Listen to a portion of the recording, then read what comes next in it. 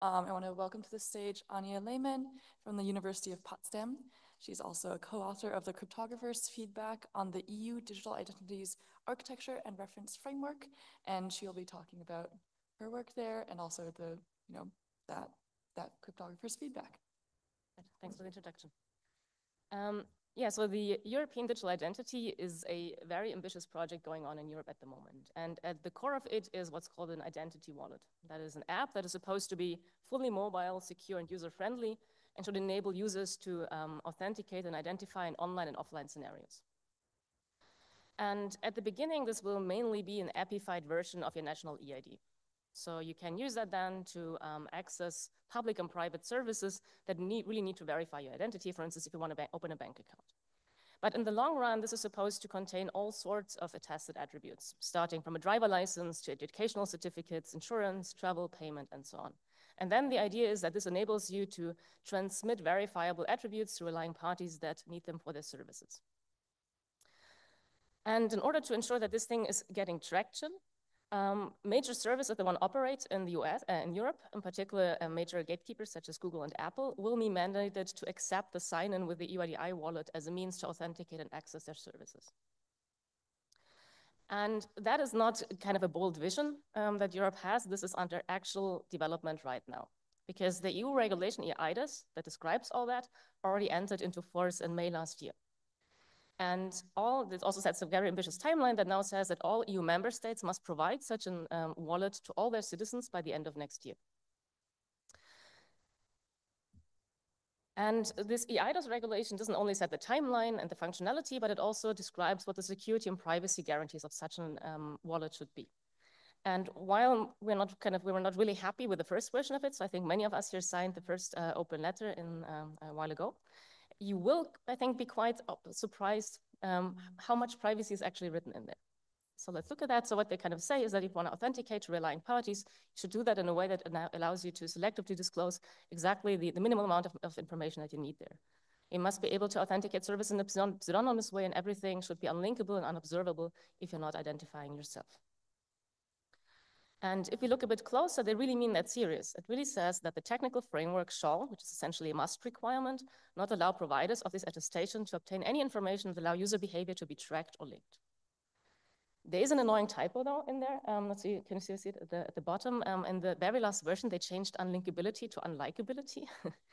um, I really hope that this is just a typo and, and not kind of an evil master plan. Um, but I think overall, this is really great news. It really says we have a law in Europe that mandates that identity must have had really high privacy standards.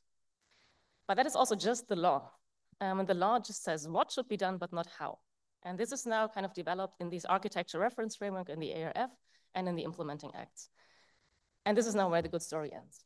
Um, because instead of using any of the technology that we have developed exactly for that use case, they decide to build everything from ECDSA.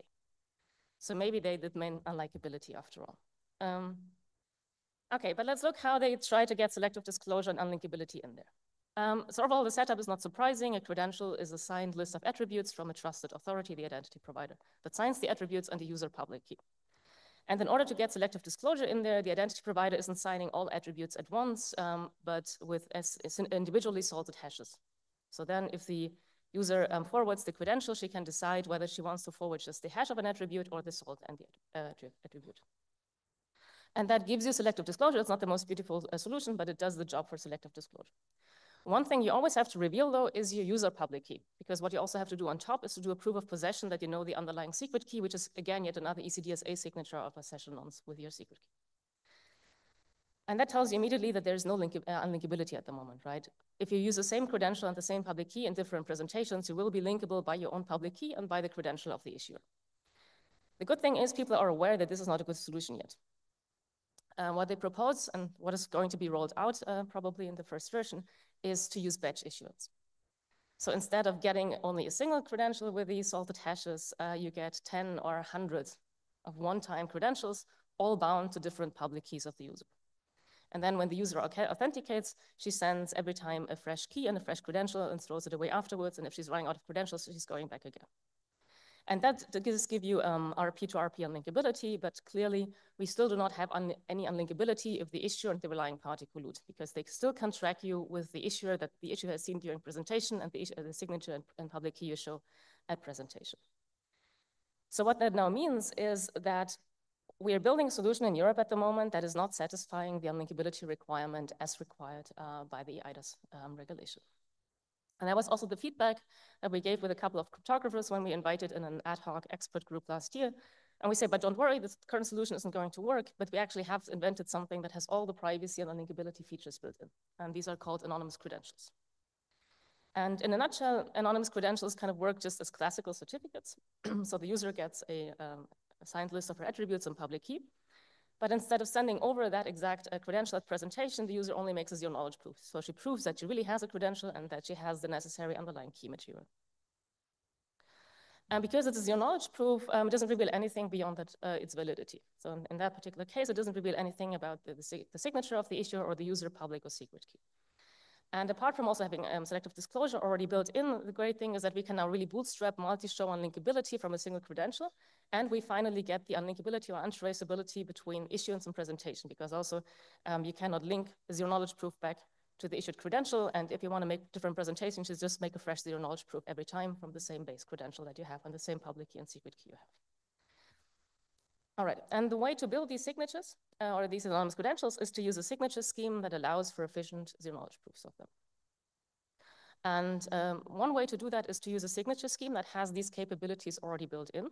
These are then the CL, BBS, and PS signatures. Or to use a more powerful tool like generic circuit-based zero-knowledge proof compilers, and then you can actually use any signature scheme, in particular also legacy ECDSA.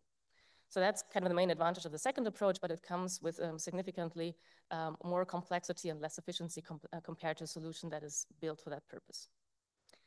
So in our um, cryptographer's feedback last year, we then um, recommended explicitly BBS because that at the time was the most mature, kind of complete and efficient solution for the problem at hand. All right, but if we have a solution that is kind of the perfect answer to what they're kind of looking for, and it was not particularly um, old, kind of the question is, why wasn't it used? And how can we change that? And the answer to that is, as usual, that the real world and cryptography are not as well aligned as we hope them to be. Um, but first, remember that this wallet needs to be available for 500 million users by the end of next year, which means it has to be built now from what is available today. And there are two main constraints that come into play here um, because it's a digital identity, it's a, it's a national uh, document.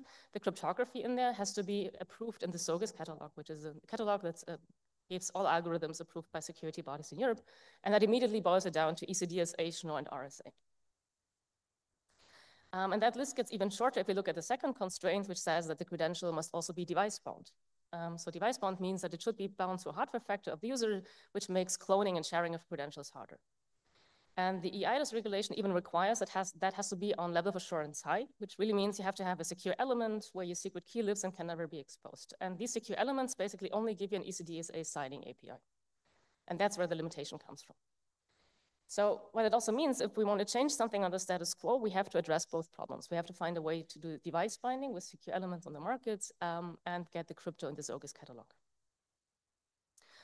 And in order to do that, we basically have kind of two main paths we can approach now. The one is to say, let's use the cryptography that is the most established, the most mature, and try to push it through the entire deployment stack. The other one is to say, okay, let's go the path of least resistance in terms of deployment and start what's already out there with the devices that we have. We will not change that and build the entire stack on top of that. And I'll actually not talk too much about the second option because that is what the next uh, four talks will exactly be about.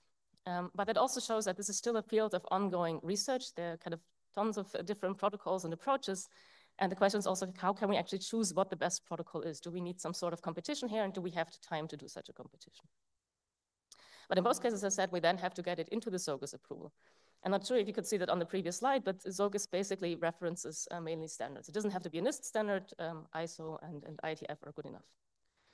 And there, if we look at the BBS side of things, we are actually in a, in a reasonably good state. There are a couple of BBS IETF drafts um, at the moment for the core signature, for pseudonyms, and for blind issuance.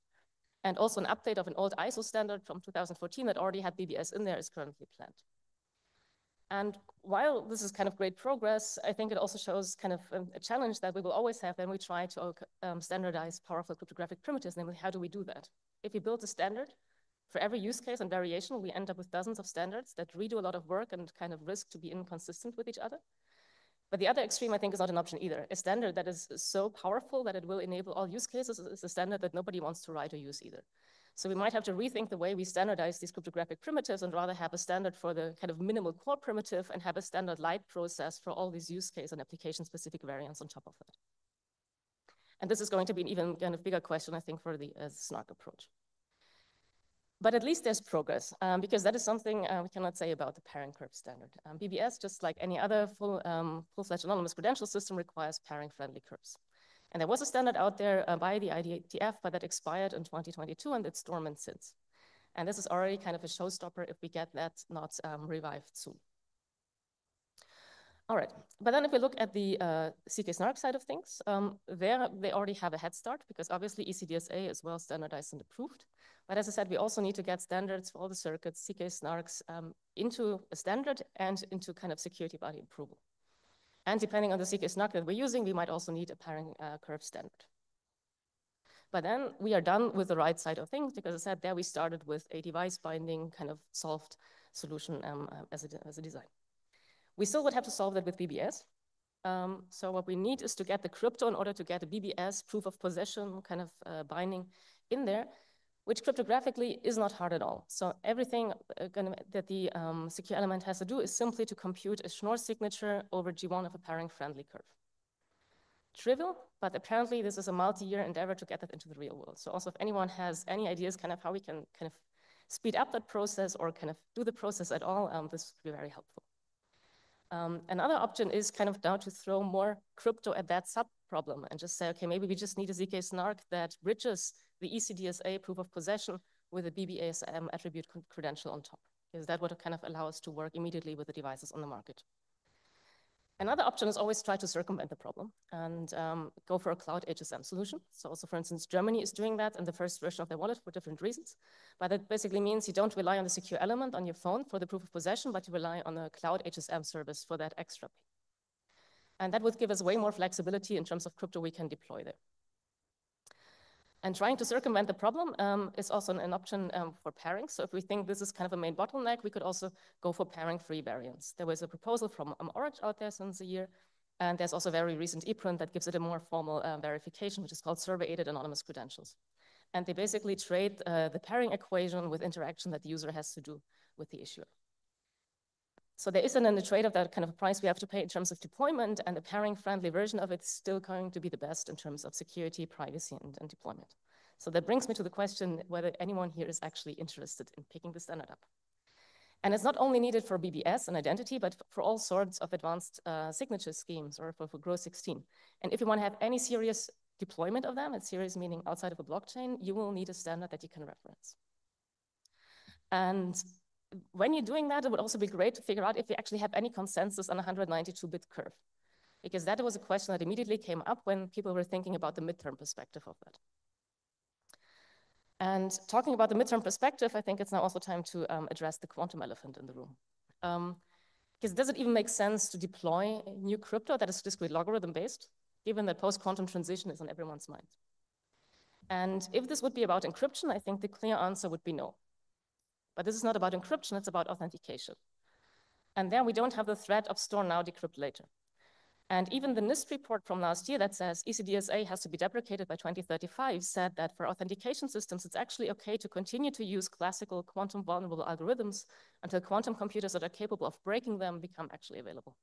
And I mean, we heard yesterday from one of the Levchin Prize winners that this might take longer than some people might believe at the moment. So this raises again the question to us also as a community, how do we want to make use of that leeway that we have for authentication systems? So do we want to use it to also push the deployment of systems that are not quantum safe but have other advantages, in particular in terms of privacy? Or are we really saying we stop that now and everything that we deploy now in the real world has to be quantum safe? And I think if we do that, we are giving up too much in terms of privacy. Because this identity infrastructure is built now and not in 10 years and it's being built with an ECDSA mindset. And if we don't change that, it means that this mindset with all the inherent privacy limitations will just manifest in the entire infrastructure that we are building now on top of that. So my proposal is still to go for a short midterm solution that is not quantum safe and really push it out now, just to show the feasibility and the benefits of that approach and make sure the entire infrastructure is built on top of that. Also to help to shape the requirements and use cases in a meaningful way. Because we can already see now that there's not, not a good understanding of how security and privacy can coexist and can coexist in different shapes. Because when we look at the use cases that are kind of targeted with the first version of the wallet, um, yeah, we see that there's room for improvement. Um, so they target two main things. The one is the know your customer use case, where I want to identify myself and I show all my identity. And another use case that they're aiming at are age proofs, where I just want to prove that I'm over 16 or 18, but I want to remain anonymous beyond that. And the solution that they have for both is batch issuance with one-time credentials and one-time signatures. But why do I need to be private when I open a bank account and send my uh, identity kind of over anyway? And why does my age proof has to have the same strong level of assurance as the credential that I'm using to open my bank account? And this discussion of what are the actual security and requirements for kind of a set of representative use cases is exactly what we have to do now and with the right technology in mind. And this becomes even more important if we look at all the use cases that are in between revealing my full identity and being fully anonymous, because that is where anonymous credentials can have the most impact. And starting to build that now, as I said, also enables to make sure that the entire infrastructure that we build on top actually is enabled or is powerful enough to take advantage of all the cryptographic features that we can build below. And it starts with something as benign as not requiring that the presentation that you send over is a copy of your credential, which is kind of currently the case in some of the, and the protocols. And if we think ahead that we wanted to support something such as the conditional disclosure, blind issuance of pseudonyms, which is impossible to do with ECDSA, we can, I think, imagine that this will not be supported by any upper layer protocol unless it's really also there and there are use cases that make use of it. And finally, it also provides kind of a real concrete target for post-quantum research because we have invented dozens of variations on properties and we don't really know which are the most important one in practice. And rolling it out, out as soon as possible will also give the, the post-quantum researchers a very concrete target, what they have to focus first. And last but not least, and there's kind of really the attention of the European Commission on this at the moment. Um, so our open letter from, uh, from last year actually had an impact. So the European o uh, Commission opens the discussion on zero knowledge proofs again. It just ended yesterday, unfortunately, um, but um, now the technical specification is, is on their agenda. So they want to, or it's, they want to consider zero knowledge proofs for the next version of the ARF and the technical specifications are drafted until end of August. So we really have to get something in there with the technology and what we can build today. And there's kind of links all over my, my presentation. There's the GitHub, so all of that is actually kind of public. You can engage there and, and shape the discussion. You can also reach out to your national identity teams because the wallets are still built by the different member states. So you can also reach out to them and try to shape the discussion through them. And uh, there's not only the kind of explicit zero knowledge proof discussion that could be interesting, but also other places. Um, for instance, the wallet attestation that you have to do in order to prove that not only your credential is valid, but you're using a valid wallet also has to be unlinkable, because otherwise we're going to lose privacy already at that level. And there are also many more interesting problems to cryptographers. So for instance, the first version for, uh, for batch issuance still tries to figure a way out how can we best derive many unlinkable ECDSA key, public keys from a single secret key, because that would help with the storage of one secret key and also the, the complexity of batch issuance. Yeah, so there's a lot of interesting problems um, to be solved where you can do cool research and have a real world impact. And if someone is interested in doing that in a postdoc in our group, please reach out. Thanks.